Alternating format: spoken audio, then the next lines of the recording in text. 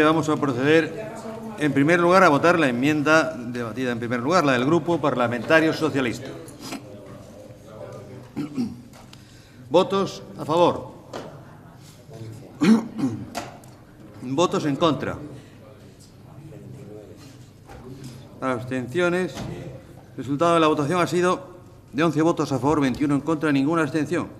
La enmienda ha sido rechazada y, por lo tanto, debe someterse a votación la enmienda formulada por el Grupo Parlamentario Mixto. ¿Votos a favor? ¿En contra?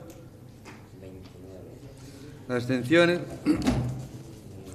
El resultado de la votación ha sido de 11 votos a favor, 29 en contra y ninguna abstención. La enmienda ha sido, pues, desestimada y por lo cual las enmiendas, una vez desestimadas, darán lugar a que la tramitación del proyecto de ley continúe en comisión, quedando establecida la cuantía máxima de gastos en las dotaciones que figuran en el señalado proyecto para cada una de las diferentes secciones, así como los créditos iniciales que para los organismos autónomos, entidades públicas empresariales, otras entidades de derecho público de la comunidad autónoma, sociedades mercantiles regionales y fundaciones del sector público autonómico se establecen en los artículos 3 y 4.